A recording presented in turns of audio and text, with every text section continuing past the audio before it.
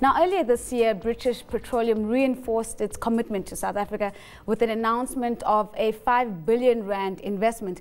To unpack new developments since the April announcement, I'm joined by Thandi Orleyn, BP Southern Africa chairperson. Since Thandi, thank you so much for joining us. So we had that amazing announcement uh, earlier this year. We had you coming onto the show, unpacking uh, what you were doing in South Africa. But I understand that now you've had further development and specifically in Mozambique. Let's start off with what are you doing uh, in Mozambique? How much are you investing and where is it going?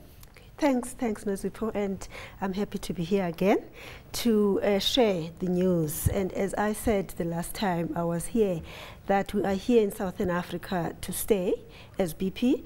Uh, we announced the investments in South Africa, and now we, I was in Mozambique with the team last week, and we announced the investments in Mozambique.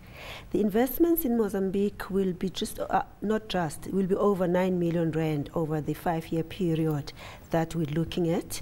Not rands, sorry, 9 million US dollars. US dollars, 90, right. 90 million US dollars. You really are playing down that number, hey? So we are, we, we are looking at a 90 million dollar yeah, investment into right. Mozambique. Into and so, Mozambique. what are you uh, targeting with okay. these funds?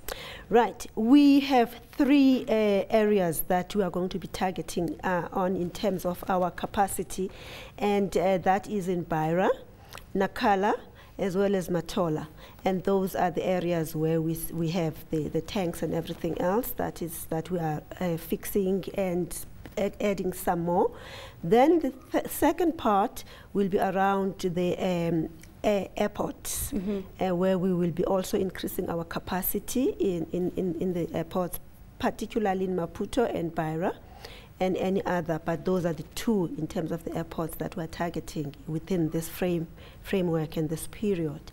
The third one will be the retails. Mm. Uh, we are going to be improving the retails to be in line with all the other retails around the world. So if you look at the retails in South Africa, that is the forecourts, you would have seen that we are also improving them. So it's a similar exercise in Mozambique in terms of refreshing, adding new ones, and making sure that we are of the same quality and standard as everywhere else in the world. I mean, BP has been in Mozambique since the 1920s. I mean, your, yeah. your, your, stay there has been incredibly long. Mm -hmm. Talk to us about the, the indicators that are coming out of Mozambique that are persuading you to, to, to, to invest uh, in that particular market even further. Okay. As you rightly say, we've been in Mozambique for over 90 years and as well as in South Africa. And one of the things we have had to do as firstly as group and then as a BP Southern Africa was to say where are the markets where we would like to put more of our energy. For us, both South Africa and Mozambique uh, were choices that mm. were, were so easy to make in that they are neighbors firstly. Secondly, both have got ports where we can import quite easily. And thirdly, the political stability in both countries ensures that uh, we, we want to, to be here and we want to expand.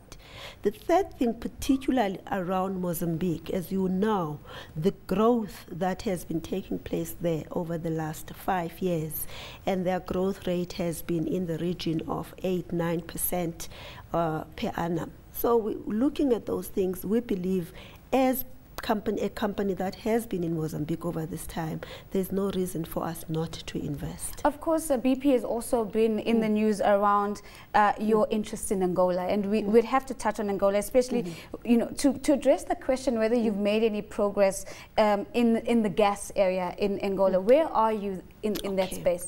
All right. Uh, I will not profess to be very knowledgeable on that side of the business. Because the way we manage or run the business is that we have the downstream mm. which is mainly in the southern african regions in south africa and mozambique.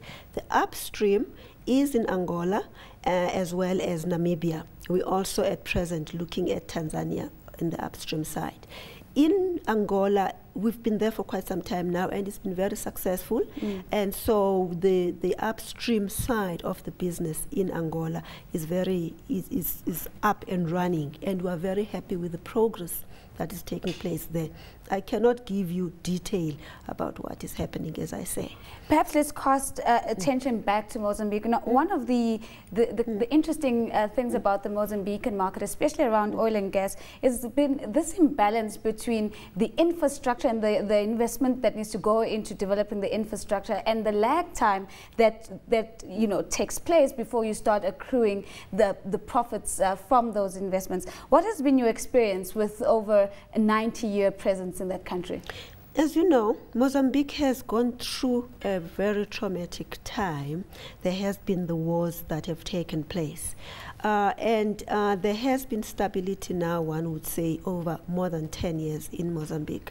So looking at those uh, indicators, we believe that with the elections that are coming into place, with although the in all countries, you find that there are some challenges, but our analysis and our belief is that there is more hope. And the government has been very receptive, as, uh, as most uh, people will know. There has been new impetus around uh, energy in Mozambique. They've passed legislation relating to biofuels. Uh, there has been a lot of work that has been done around petroleum and uh, the, the, various elements uh, thereof. The third area, which has been very exciting for Mozambique as a country, has been the discovery of shale gas. So now they've got three components that they are driving. And I believe that it is appropriate for BP, as one of the companies that has been there for so long, to look at how we can invest in that country as well as how we can assist Mozambicans to grow their economy.